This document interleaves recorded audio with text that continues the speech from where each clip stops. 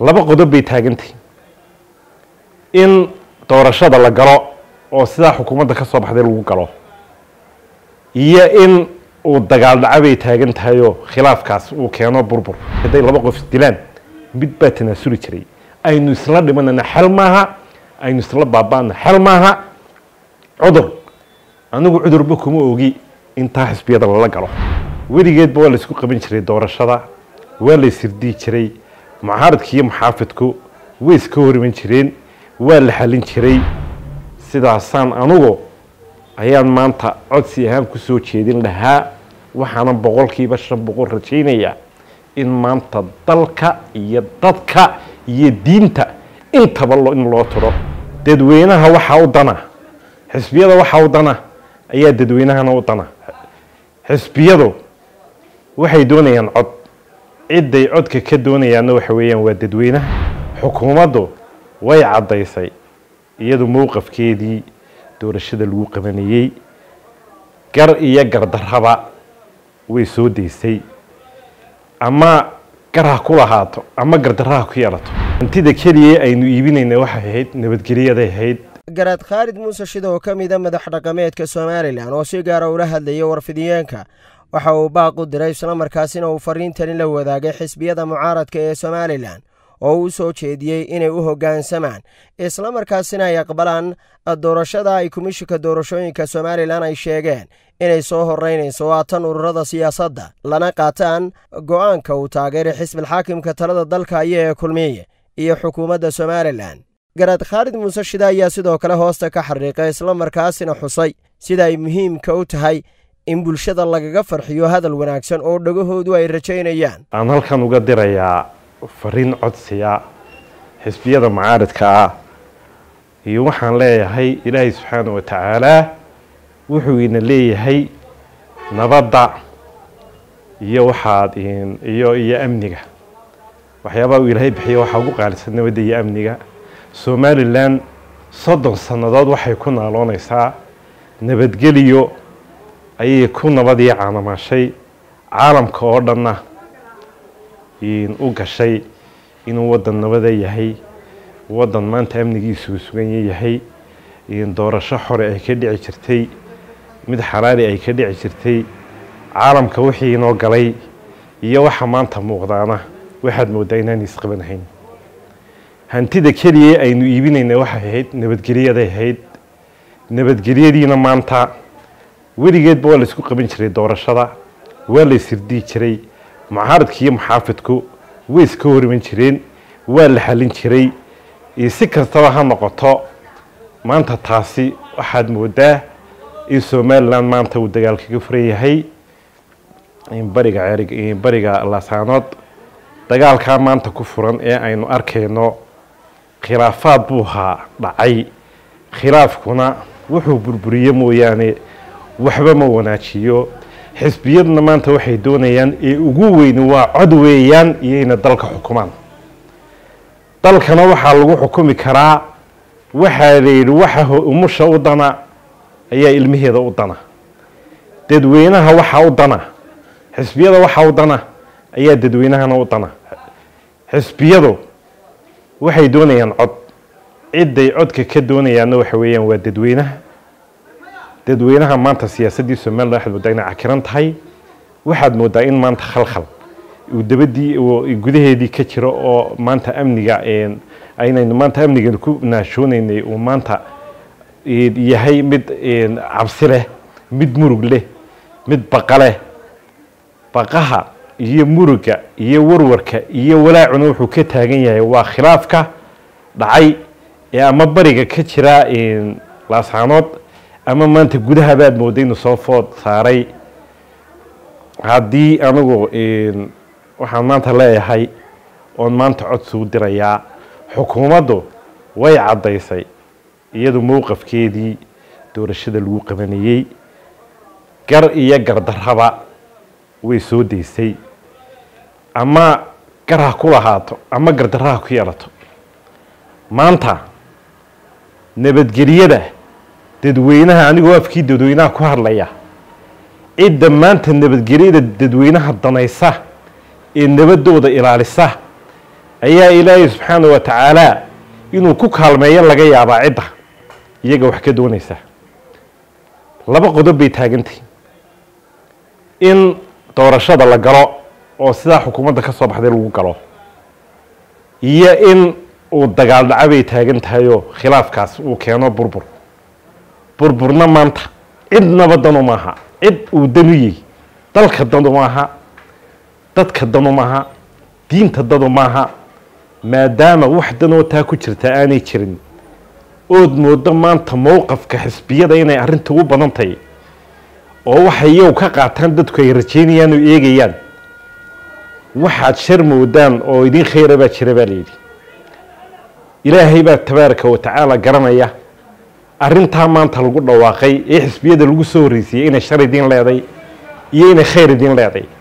Annaguna waxaan ilaahay ka baryaynaa sida khayrkaynoo leh inuu ilaahay tubta toosanna waafajiyo dhammaanteenba dagaalada bari ka halcaya iyo kuwa caalamul islaam oo dhan ka halcaya waxaan ilaahay weydiinaynaa tabaaraka wa tacaala biasmaa ilxusnaa wa sifaat alculaa inuu ilaahay caalamul islaam uu nabad ugu bedelo dabka halcaya iyo dagaalada dhacaya hadday gudatay iyo hadday dabatayba.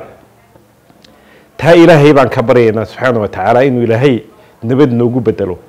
Waxaan ilaahay ka baryaynaa kana nabadaynu ku naashoon jiray aynu ku faanaynay inuu ilaahay tanna ku waariyo inu ilaahay ka baryaynaa. Anigu waxaan hadalkaygii ku soo gebagabaynayaa shar haddii loo arkayo xisbiyadu inay doorashada galaan inuu ilaahay khayrba uga dhiga cidda diidan baa laga yaabaa maanta xisbiyada mucaaradkaa waxaan ka codsanayaa anigoo ah garaad khaalid muuse shide oon mar koobaad iyo mar labaad iyo mar saddexaadba aan ka codsanayaa inay maadaama maanta iyaga dad dadweynaha dhegtooda iyaga ay maanta ay taagan tahay maxay odhan doonaan? Maanta raganimadu meel cidhiidheeday ku jirtaaye inay doorashada la qaataan xukuumadda xisbiyada oo ay sidaa ku galaan. Ilaahayna ay tala saartaan. Dadweynahana ay kaga farxiyaan. Waa gelaynaayo. Maanta markuu dadweynuhu dareemo in loo nasteexeeyey iyaga oo nabadgelyadoodii la ilaaliyey lexejeclaa gelaysee lexejecladaana in lagu xisaabtamo ay xisbiyadu dib u eegaan inay lexejeclo dadka ay gashadeen. Ilaahay waxay ka rajaynayeenna in iyagoo qalbigii dadka hantay ay sidaa ku galaan doorashadii cidday u shar leedayna ilaahay baa garanaya cidday u khayr leedayna ilaahay baa garanaya oo ay dadka niyadooda iyo qalbigoodaba ay dejiyaan oo wax lagu farxo aan la firanayn inay ka soo yeedhaan ilaahayna ka baryayaa. Codsigaana inay iga aqbalaan baan ka baqa ayaan ka baryayaa iyaga. Ilaahayna waxaan ka baryayna ilahay sida tugta toosan waafajiyo iyaga iyo inaga iyo iyagaba in ilaahayna waafajiyan ilaahay ka baryayaa sidaasaan anugu ayaan maanta codsi ahaan ku soo jeedin lahaa. Waxaana boqolkiiba shan boqol rajaynayaa in maanta dalka iyo dadka iyo diinta intaba in loo tiro oo loo oo loo oo loo oo maanta lala xajecleeyo oo loo tanaasulo. Waayo hadday laba qof isdilaan mid baa tanaasuli jiray. Aynu isla dhimanana xel maaha aynu isla baaba'ana xel maaha cudur anigu cudurba kuma ogi intaa xisbiyada lala galo. Cudurba kuma ogi waayo xisbiyadu codna way haystaan magacna way leeyihiin muuqaalna way leeyihiin ha lala galo ayaan anigu odhan lahaa. Ha la galo baan anigu odhan lahaa. Doorashada ha la galo oo taa xisbiyada ha la galo. Dadka dhegtooda waxaanay filaynayn ilaahay ha ka dhawaajiyo oo qurux badan oo nabadgeliyo iyo nagaadibo uu ku jiro inuu xisbiyada ilaahay ka yeedhsiiyo tugta toosanna in ilaahay iyaga iyaganaba inagaba ina waafajiyeen ilaahay ka baryayaa dhinaca kale garaad khaalid muuse shida waxa uu ka hadlay xaaladda ka aloonsan gobolka sool iyo weliba dagaalka ka socda magaaladaasi isagoo baaq u diray xukuumadda somalilan iyo weliba garaadada gobolka sool oo uu u soo jeediyey inay u hoggaansamaan nabadgelyada. Waxaan baaq u dirayaa gobolka sool iyo cayn iyo sanaag garaadada ayaan la hadlayaa goboladaas ka soo jeeda. Weligay maan hore ulamaan hadal garaadada laakiin maanta garaadada waan la hadlaya waxaan leeyahy garaadada. Horta garaadadu garaad yiraa nabadda gala mooye garaad yiraa dagaalka gala lama arag. Cadhaduna waxaa la yidhi waxaa la yidhi cadhadu cadho walaal waa la baryaa baa la yidhi. Cadhada maanta keentay arrinta soolbartay marayso iyo ismaandhaafka maanta keenay arrinta soolaalkay marayso ka tanaasul bay ku fiicantahy baniaadamkuna hadduu isu tanaasuli waayo waxba hagaagi maayaan. Dagaalkii waa la arkay. Waa la arkay dhibtii. Waa la arkay iskhilaafkii. Waa la arkay maanta. Halkay arrinteenu marayso dad isku dhaqana oo isku dhiiga oo isku deegaana ayaynu nahay. Waxaan anigu odhan lahaa haddii la wado uun macnaha halkii ilaa halkaan doonaya laygooyo aniga waxba iga hagaagi maayaan. Xaggaa iyo xagganba. Arrinta waxaan leeyahay meel dhaxaa la ysugu keeno. U n waxba kuuma aha. Qaramada midoobey waxba kuuma aha. Dadka maanta aynu wax moodeynaa ee shisheeye waxba inooma aha. Innagaa wax isku ah tala dhaba oo walaaltinimo leh oo oo isu turaalo leh oo isu tanaasul leh oo wixii dhacay maanta. Inta maanta inoo jirteeda inaynu baajinno ilaahay haydin waafajiye maanta waxaan anigu odhan lahaa ha laysu tanaasulo oo tanaasulku weliba xagga garaadada ha ka yimaado. Aniga oon af xukuumadeed ku hadlayn oo af xisbi aan ku hadlayn oo af dadweyne iyo af islaam ku hadlaya.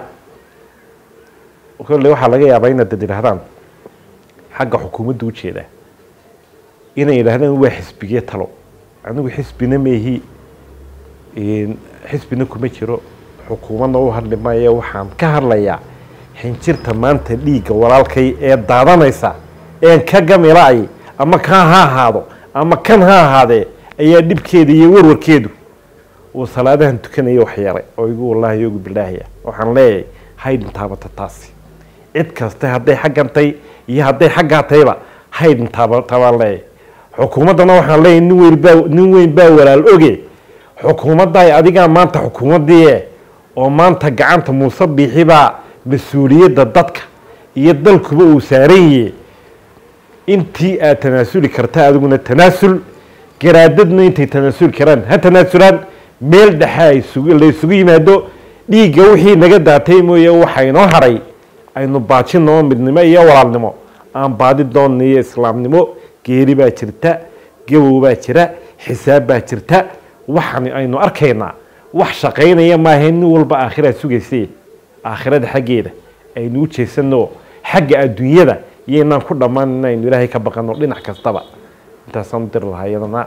Maxamed cabdi qalinle warbaahinta dowladda hargeysa